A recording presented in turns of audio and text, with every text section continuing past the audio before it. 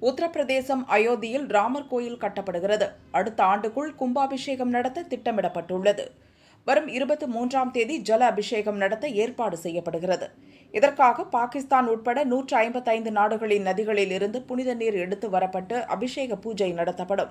முதல்வர் யோகி ஆதித்யநாத் வெளிநாட்டு பக்தர்கள் ஆன்மீக குருக்கள் உள்ளிட்ட பலர் பங்கேற்க உள்ளதாக ராமஜென்ம பூமி அறக்கட்டளை தெரிவித்துள்ளது.